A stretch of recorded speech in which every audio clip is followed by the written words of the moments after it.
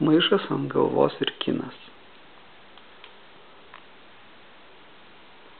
Maišas ant galvos nežiūri kiną. Jisai pats kinas.